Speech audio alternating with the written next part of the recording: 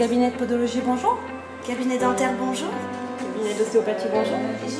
Ici, on gère le secrétariat d'une trentaine de médecins et professions paramédicales. La prestation est facturée à l'appel entre 99 et 73 centimes d'euros en tarif dégressif, soit une facture mensuelle qui peut aller jusqu'à 800 euros pour les plus gros clients. On fait ça Allez, le vendredi, oui. Dites-moi. À l'heure où la prise de rendez-vous sur Internet prend de l'essor, c'est autre chose que l'on place ici au cœur du dispositif. Je pense que le côté humain, c'est très important encore euh, maintenant. Nous, on a des patients euh, qui nous appellent presque tous les jours. euh, voilà, juste euh, pour avoir quelqu'un au téléphone. Il y en a qui sont tout seuls. Donc euh, voilà, euh, je pense que le côté humain est très important, ouais. Lara? Comment vas-tu? Ça va et toi? Cette podologue est une cliente du centre d'appel.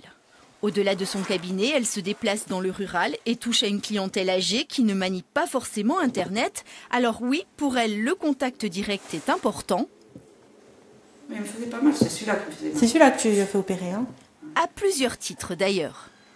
Quand c'est des rendez-vous pour le cabinet, c'est assez rapide, mais quand c'est par exemple pour des domiciles, des nouveaux domiciles, les gens dans les villages, ils doivent expliquer où ils habitent. Donc ça peut prendre parfois 5, 6 minutes.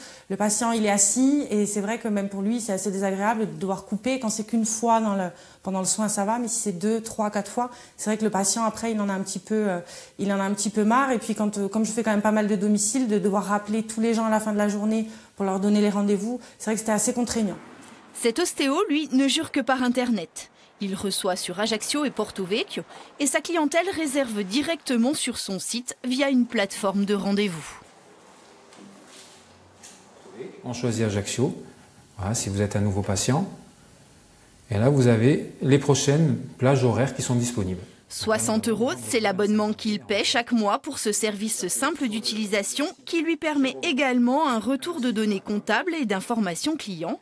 Des clients libres de se connecter quand ça leur chante.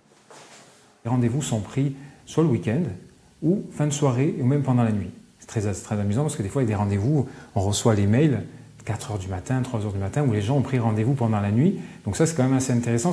Ça prouve bien que les gens attendent le soir, d'être plus tranquilles, demander peut-être, on va dire, s'ils sont disponibles, avoir un planning pour effectuer leur rendez-vous à eux.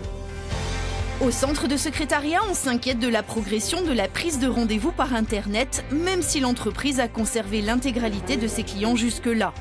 Pour assurer leurs arrières, les filles envisagent de proposer un accès à leur propre plateforme web, en plus du contact téléphonique. C'est à quel nom, s'il vous plaît? Cabinet médical, bonjour. Au revoir.